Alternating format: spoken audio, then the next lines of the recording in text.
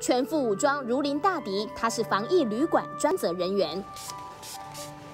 紫外线灯正立房间的时候，先放进去，让它静置个一个小时左右。与一般饭店清洁不同，消毒细节规格更升级。防疫旅馆比较注重客人比较常使用的地方，飞沫啊还是什么的，可能会留在上面。一毕业就选择发挥所长，加入饭店业，却正巧碰上疫情，不因害怕而退缩。卢新红选择留下为防疫奋斗。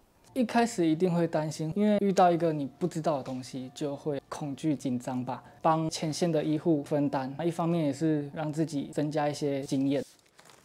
台南防疫旅馆总房量约一千两百间，入住率约三成，专员们一身严密防护衣，汗水湿透，累而不疲。穿着防护衣，里面又闷又热，你又不能用手去擦汗，忍耐到你工作结束之后，脱掉这身衣服，才可以去洗澡。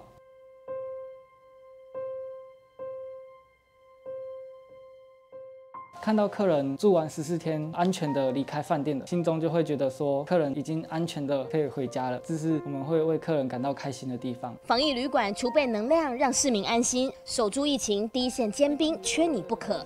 大新闻吴一雄、王昭中台南报道。